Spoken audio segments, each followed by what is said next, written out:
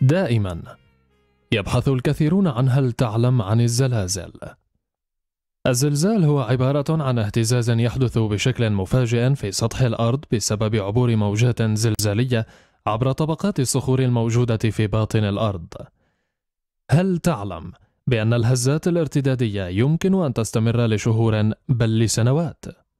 هل تعلم تحدث الزلازل في نصف الكرة الشمالي أكثر من نصفها الجنوبي؟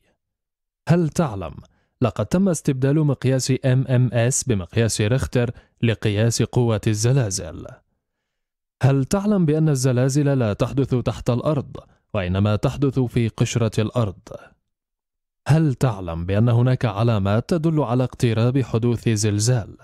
مثل قرص الشمس يصبح أكثر احمرارا، زيادة نسبة الأبخرة في الجو، سماع أصوات من باطن الأرض، حركة غير طبيعية للحيوانات، حدوث عواصف وغيرها من الاضطرابات الجوية التي يصحبها هدوء، الشعور بدوار في منطقة الرأس، تساقط كميات كبيرة من الأمطار، وأخيرا هل تعلم بأن اليابان من أكثر دول العالم عرضة للزلازل وولاية كاليفورنيا الأمريكية تعرف بأنها عاصمة الزلازل في العالم؟